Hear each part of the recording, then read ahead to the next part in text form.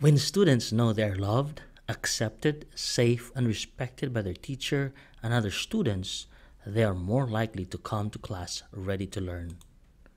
The acceptance and love they feel from others can soften their hearts, reduce fear, and engender within them the desire and confidence necessary to share their experiences and feelings with their teacher and classmates.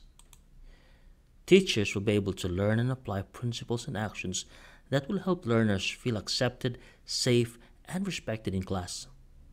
Let us listen to Elder Kim Clark as he discussed how we can help our students feel accepted, safe, and respected.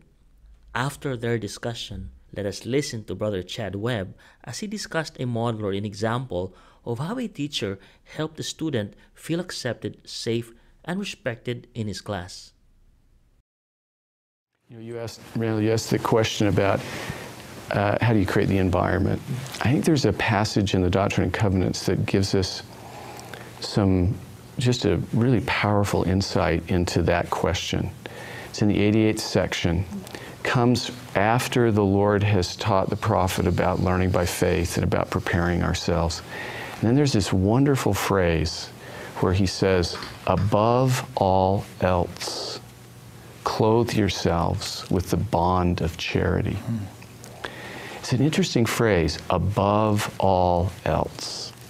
And he's talking about teaching and learning. And the message is the most important thing you can do in that classroom or in your family or wherever you're teaching is to establish bonds of charity. And that word bond, um, it kind of reminds us of covenants.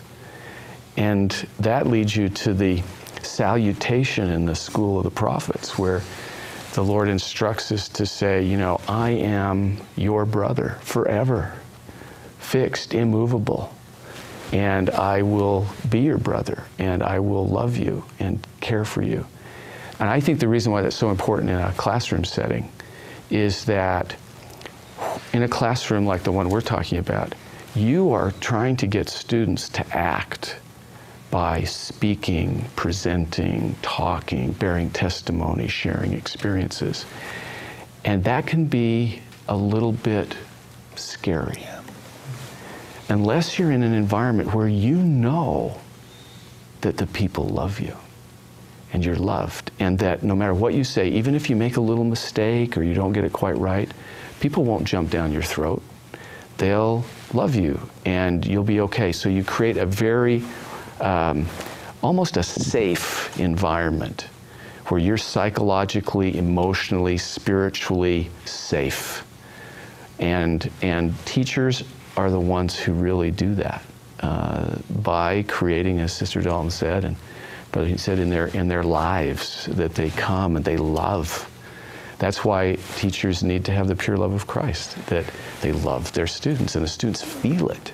So then they're saying, well, I'll raise my hand and say, well, this is what I think, or, well, I think this is what I would do, or this is what I think this means, or I had an experience and here it is. And sometimes those experiences are very tender, and, and, but they're powerful and, and in, in great teaching moments. And without them, you know, all it is is kind of talk. Mm-hmm. And but where there, where that love is there, you you get people opening up and being willing to exercise their agency and act. I think that's why the Lord said, above all else, clothe yourselves with the bonds of charity. This false perception causes them to believe they don't fit in. Some even feel that if they ask a sincere question or share a heartfelt perspective, they'll be judged or thought of as less than faithful. They also said they would be more likely to attend if it were a place where everyone was welcome, regardless of inward faith or outward appearance. Recently, Brother Linford saw a young woman standing in front of one of our buildings. He introduced himself and asked if she was enrolled in a class.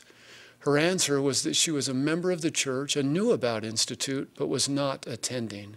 She added, If you knew me and knew my past, you would know I don't belong there. I wouldn't fit in. Fortunately, this young woman accepted Brother Linford's invitation to come inside, where she was greeted warmly. She enrolled in a class and immediately started attending. But I've wondered how many hundreds, even thousands, have stood outside our buildings needing exactly what our classes offer, but feeling afraid they won't fit in.